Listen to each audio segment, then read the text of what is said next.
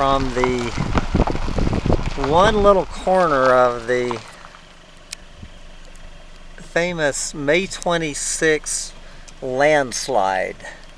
Uh, that all those conspiracy wackos are saying was caused by fracking. Now, unfortunately, the big piece of it goes off behind the hill, so we're seeing the very headwaters or head muds of it.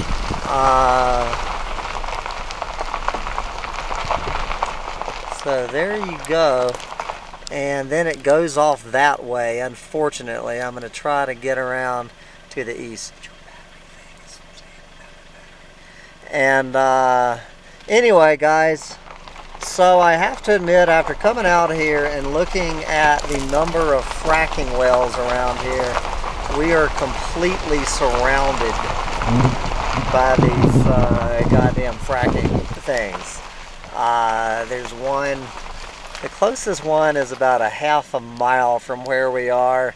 In the past 10 miles, I would say we've passed at least 30 of these fracking wells. Anyone who tells you that this land out here is not completely riddled with uh, with these things, clearly Collbran, Colorado, every we, we started we these started coming into sight 12 miles north of Collbran.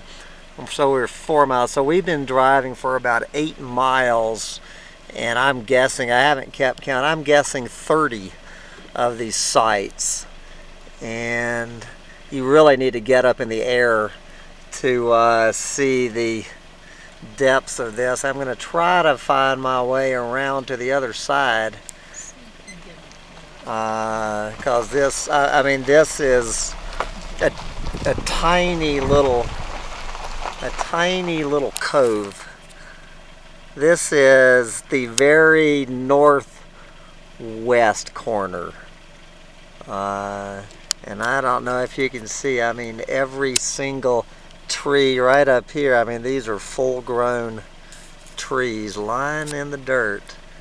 Uh, so anywho, there you go. Decide for yourself whether this thing was caused by two inches of rain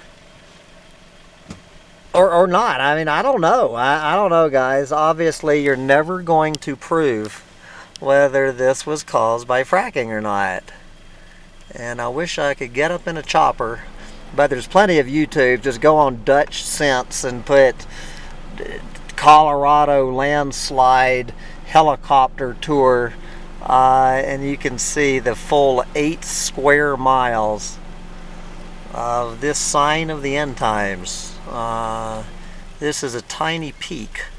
So I'll see what I can do getting to the other side of this but I think this is as close as we can get. Mm. Bye guys.